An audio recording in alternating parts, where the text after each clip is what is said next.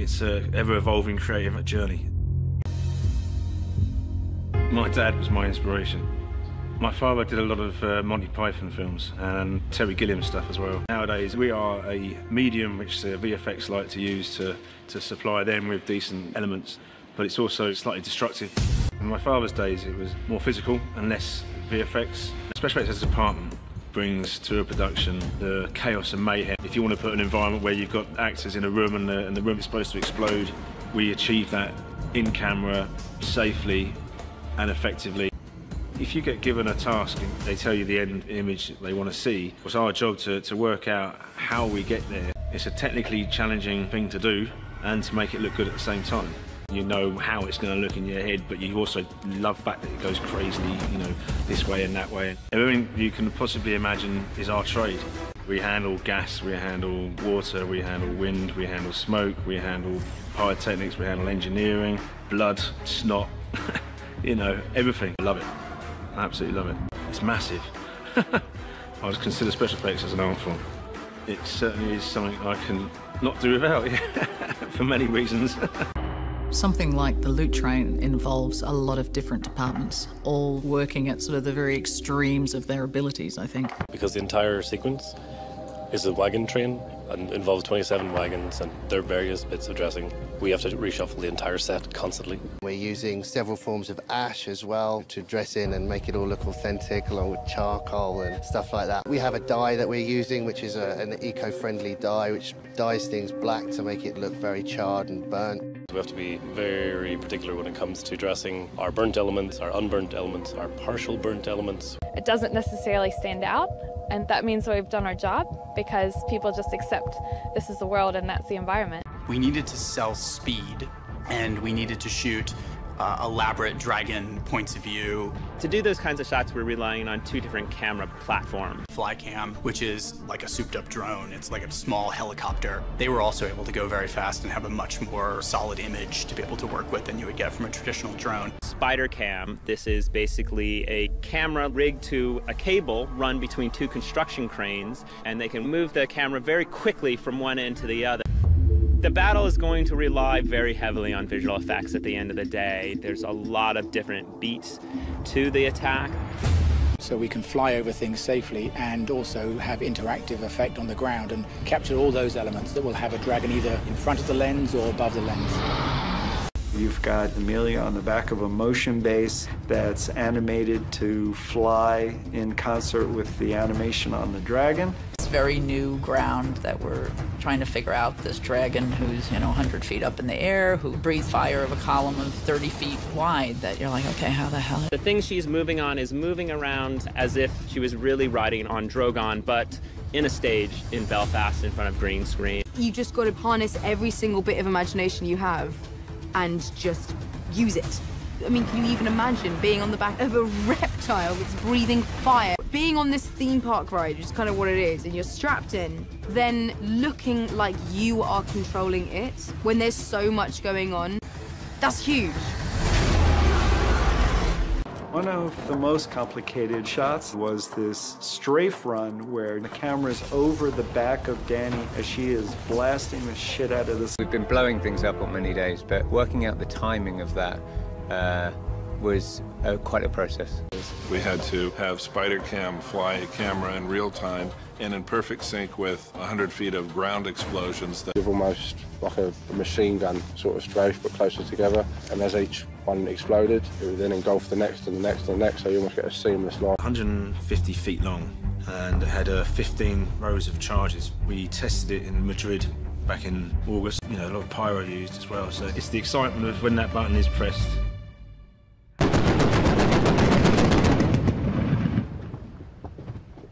Sam is our effects guru, and he's kind of a madman in the best possible way. And, you know, one of his responsibilities is setting things on fire, uh, which he's really good at. Ready, and three, two, one, action!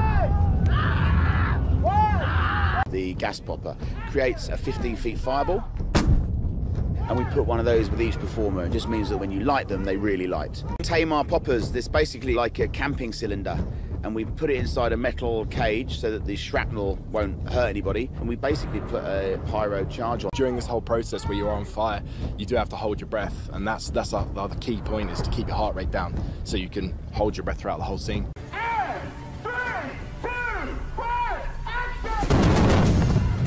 Man on fire. Never mind 20, 20 guys in one go. It's it's pretty, it's scary.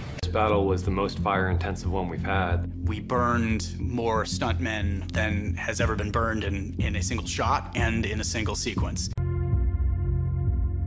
It's a ever-evolving creative journey. My dad was my inspiration.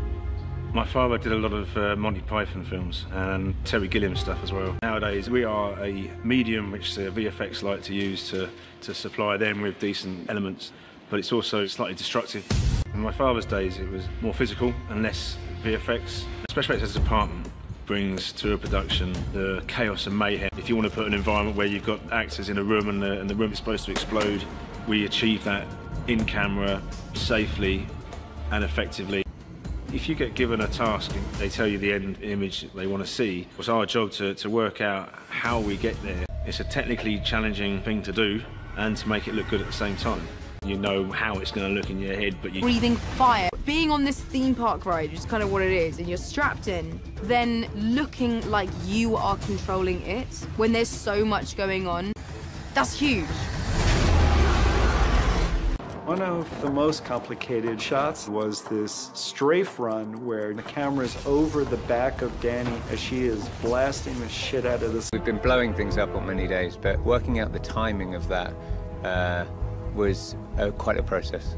We had to have SpiderCam fly a camera in real time and in perfect sync with 100 feet of ground explosions. That You've almost like a, a machine gun sort of strafe, but closer together. And as each one exploded, it would then engulf the next and the next and the next, so you almost get a seamless line. 150 feet long and it had uh, 15 rows of dye that we're using, which is a, an eco-friendly dye, which dyes things black to make it look very charred and burnt. We have to be very particular when it comes to dressing our burnt elements, our unburnt elements, our partial burnt elements. It doesn't necessarily stand out, and that means we've done our job because people just accept this is the world and that's the environment. We needed to sell speed, and we needed to shoot uh, elaborate dragon points of view. To do those kinds of shots, we're relying on two different camera platforms. Flycam, which is like a souped up drone, it's like a small helicopter. They were also able to go very fast and have a much more solid image to be able to work with than you would get from a traditional drone. SpiderCam, this is basically a camera rigged to a cable run between two construction cranes, and they can move the camera very quickly from one end to the other. The battle is going to rely very. We also love the fact that it goes crazily, you know, this way and that way. Everything you can possibly imagine is our trade. We handle gas, we handle water, we handle wind, we handle smoke, we handle pyrotechnics, we handle engineering, blood, snot, you know, everything. I love it. I absolutely love it. It's massive. I would consider special effects as an art form. It certainly is something I can not do without, for many reasons.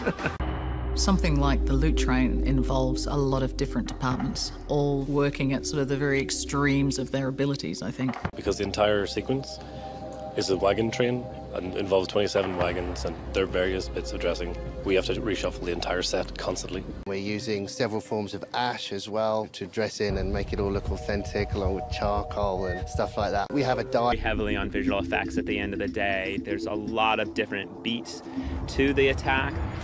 So we can fly over things safely and also have interactive effect on the ground and capture all those elements that will have a dragon either in front of the lens or above the lens. You've got Emilia on the back of a motion base that's animated to fly in concert with the animation on the dragon.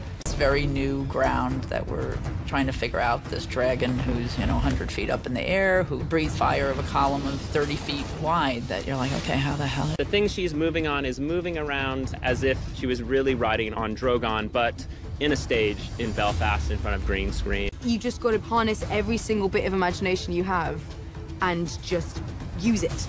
I mean, can you even imagine being on the back of a reptile that's